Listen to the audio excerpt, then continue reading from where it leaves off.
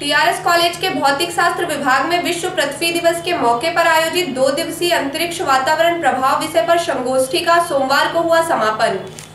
विश्व पृथ्वी दिवस के मौके पर टीआरएस कॉलेज के भौतिक शास्त्र विभाग में दो दिवसीय संगोष्ठी का आयोजन किया गया था, जिसका समापन सोमवार को हुआ। इस संगोष्ठी में अंतरिक्ष वातावरण प्रभाव विषय पर चर्चा की गई। साथ ही शोध पत्रों का प्रस्तुतिकरण भी किया गया। पहले दिन जहाँ 20 शोध पत्रों का प्रस्तुतिकरण किया गया तो दूसरे दिन 40 शोध पत्रों का प्रस्तुतिकरण हुआ। इस अवसर पर बाहर से आए वैज्ञानिकों के द्वारा सोलर एक्टिविटी की जानकारी भी दी गई। संगोष्ठी के माध्यम से लोगों को पृथ्वी को प्रदूषण से बचाने के बारे में भी कहा गया। कार्यक्रम के समापन के अवसर पर Vindh journal of basic science पत्रिका का विमोचन किया गया।